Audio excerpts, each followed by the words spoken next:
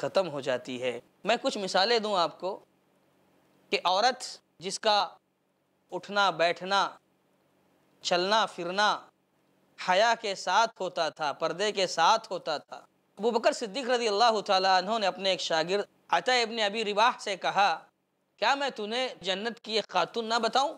कहा हाँ क्यों नहीं? एक बूढ़ी औरत, काली कलोटी औरत वहाँ से गुजर रही थी। अबू बकर सिद्दीक रज़ी अल्लाह तु ने उसकी तरफ़ इशारा करते हुए कहा कि देखो, वो खातून जो जा रही है, वो जन्नती खातून है। वो कैसे? कहा कि एक मरतबा ये खातून अल्लाह के नबी सल्लल्लाहु अलैहि वसल्लम के पास आई और आने के बाद शिकायत करती है कि मुझे एक बीमारी है। उस बीमारी की शिकायत की और बीमारी ऐसी है, मुझ पर दौरा पड़ता है। मिर्गी का दौरा कह लीजिए, या कोई ऐसी बीमारी थी जिसकी वजह से उसमें दौरा पड़ता था। और जब दौरा पड़ता था तो उन्हें बहुत तकलीफ़ होती थी। तकलीफ़ होने के साथ साथ अजियत होने के साथ साथ उनके कपड़े, उनके जिस्म से हट जाया करते थे, वो बेपर्दा हो जाती थी। ये आई अल्लाह के नबी वसल्लम के पास और कहने लगी हैं अल्लाह के नबी सल्लल्लाहु अलैहि वसल्लम, मैं एक ऐसी औरत हूँ जिसे एक बीमारी है। मुझे दौरा पड़ता है। और वो जब दौरा पड़ता है तो मुझे बहुत तकलीफ़ होती है। बहुत तकलीफ़ होती है। ऐसी तकलीफ़ के मुझे बर्दाश्त नहीं होता। और दूसरी बात यह कि जब वो दौरा पड़ता है, मैं अपने आप में नहीं रहती हूँ। मेरे जिस्म से कपड़ा हट जाता है, मैं बेपर्दा हो जाती हूँ। मुझे होश नहीं रह जाता, मैं अपने आप को पर्दे में रख नहीं पाती हूँ। आप मेरे लिए अल्लाह से दुआ कर दीजिए कि अल्लाह ताला ये बीमारी मुझसे दूर कर दे। अल्लाह के नबी सल्लल्लाहु अलैहि वसल्लम ने कहा, अगर तुम चाहती हो कि मैं दुआ कर दूँ तो मैं दुआ करने के लिए तैयार मैं दुआ कर दूँगा, तुम्हारी बीमारी ख़त्म हो जाएगी।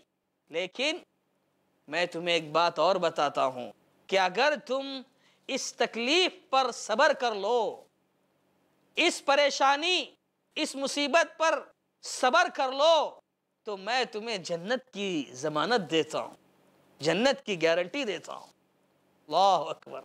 वो सहाबियात, सहाबा की मुक़दस जमात के जन्नत का नाम आते ही उछल पड़ते थे वो लोग। जन्नत का नाम आते ही उछल पड़ते थे।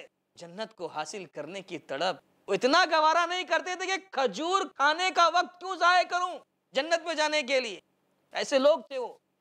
खातून ने कहा अल्लाह के नबी वसल्लम से मुझे तकलीफ़ बहुत ज़्यादा होती है, लेकिन आपने जन्नत की बात की कि अगर मैं सबर कर लूँ, इस तकलीफ़ को बर्दाश्त कर लूँ तो मेरे हिस्से में जन्नत आएगी अय अल्लाह के नबी वसल्लम, मैं तकलीफ़ को बर्दाश्त करने के लिए तैयार हूँ, मुझे जन्नत चाहिए। दूसरी जो बात अल्लाह के नबी वसल्लम ने की थी, वो उस पर राज़ी हो गई।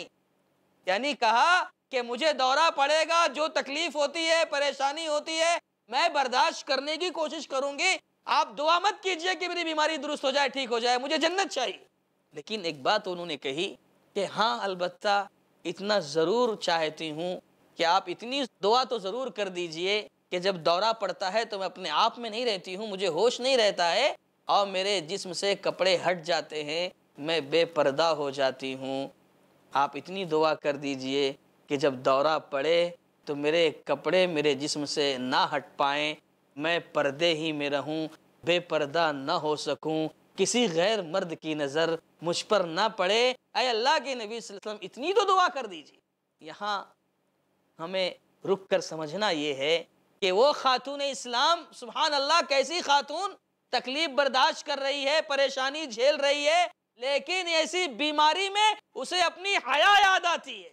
वो इतनी शर्म हया की पैकर सुबहान अल्लाह के उस बीमारी के अंदर भी बर्दाश्त नहीं करती है कि बेपर्दा हो जाए।